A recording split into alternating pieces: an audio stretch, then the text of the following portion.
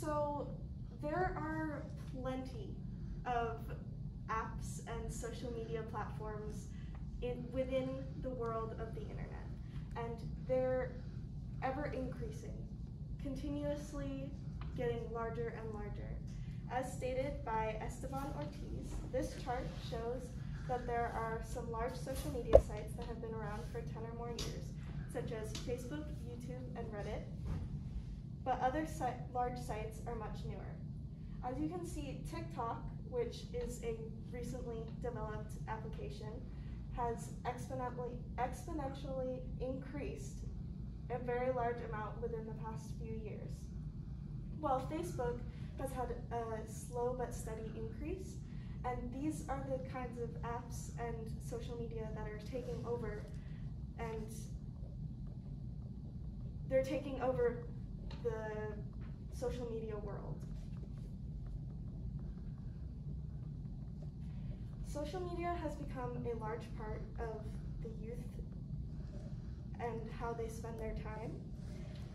Often now, becoming an influencer has become commonplace. Lots of kids are even dropping out of college or not even going to school because they have the goal set to become an influencer. They, there are, as you can see, there are plenty of apps, as we stated before, and social media that these influencers can have a platform on. Peter Suki states, there are 500,000 active influencers on Instagram. This is Instagram alone. With large apps such as TikTok and YouTube as well, there are even more influencers on these platforms.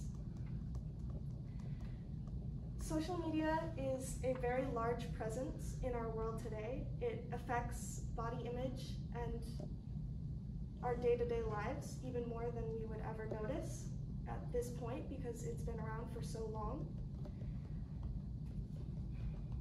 Not only is the social media market being not only is the social media market increasing exponentially throughout the years as technology advances, so is the smartphone and smart device market uh, 1.52 billion smartphone smart devices were purchased and used within 20, 2019 compared to 680 million smartphones in 2012.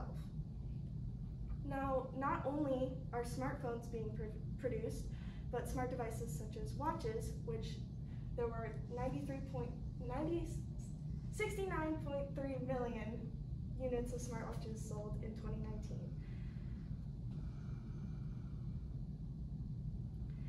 The market for smart devices and technology and social media keeps increasing with the technological, technological advances we have in our society. Uh, IDC states for Business Wire, a transformation is underway that will see the worldwide market for the Internet of Things solutions growing from 1.9 trillion in 2013 to 7.1 trillion in 2020. And this is projected to continue to increase. Now, the Internet of Things and social media and technology isn't so bad, even though it's taking over the world today and could potentially lead to a what I would like to call a WALL-E situation where we rely so much on technology that we lost most of our sense of society and community. It has its benefits, such as Braille terminals, which are a, an education device used for the visually impaired to be able to read and use technology. Baker states it's a much more time efficient and less costly alternative than once upon a time ordering a Braille textbook, which could take months to receive.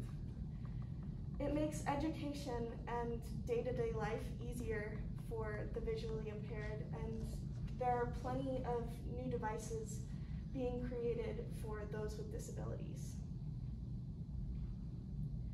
As simple as it sounds, the the simplest solution would be to just put down devices and to stop relying on them so much and rely a little more on the human race again. Because a hundred years ago, we did not have all of this technology and we survived just fine.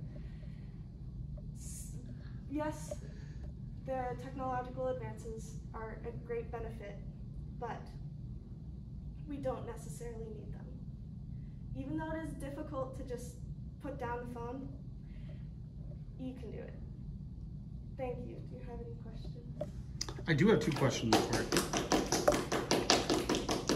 Thank you, guys. My apologies for interrupting the applause.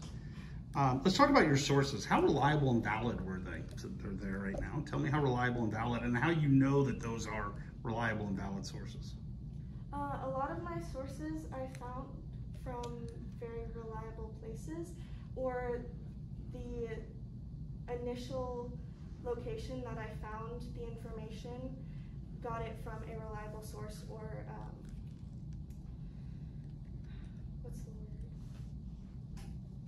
Or study. Okay. Uh, and if you had more time, what additional research would you do on this?